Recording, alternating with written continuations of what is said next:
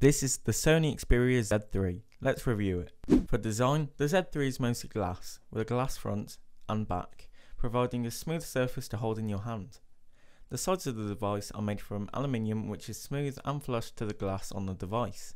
On the top of the device you have a headphone jack and a small hole for the microphone. On the left hand side you have your charging ports.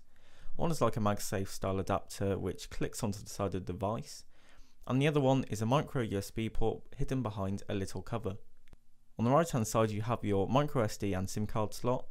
The power button, volume rockers and the dedicated power button are also on the right hand side. For dimensions the device is 14.6cm tall and 7.2cm wide and 7.3mm thin, which makes it fairly large device but even at this size it's still comfortable to hold in the hands. A few things that I would have to fault with this design is that the power button is a bit small. Luckily, there is an option which will allow you to double tap the screen on the device to turn it on, but I do wish the power button was a bit larger.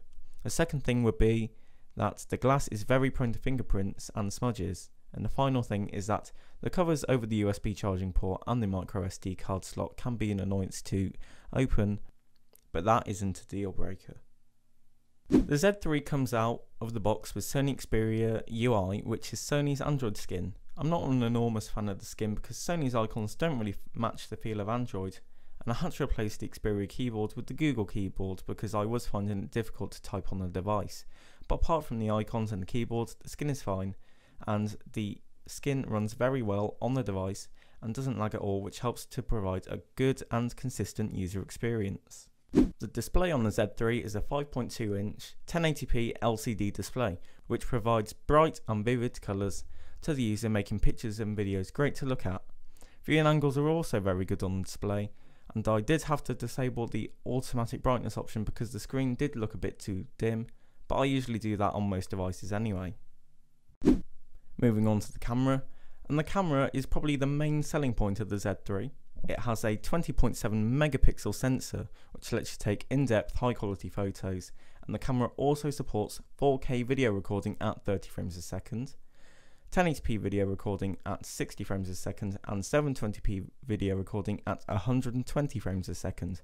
The camera app does also include a lot of extra features that can use the camera and on the front of the device is a 2.2 megapixel camera which can also shoot 1080p video at 30 frames a second. Performance is not an issue on the Z3. The device rocks a Qualcomm Snapdragon 801 processor running at 2.46 GHz with 3 gigs of RAM to keep the device running. Apps take around a second to open and I was able to play games on the device without an issue. The only thing that I did notice was that the very top of the device got a little warm while playing games. And I did some benchmarks on it and the Z3 scores just below the Samsung Galaxy S5, so overall it's a pretty good phone. Battery life on the Z3 is also very impressive. The battery inside is a 3100 mAh battery and on that you'll easily get a full day of usage on the device and you may even get an extra half day as well without even having to plug it in yet. So overall the Z3 is a very premium device and that does come at a cost as currently from Sony the device costs £549 but if you want a high quality built phone with a great camera and screen, I would highly suggest you to get this phone. So that's been the video, make sure to like, comment and subscribe and I will see you in the next one. Thanks for watching.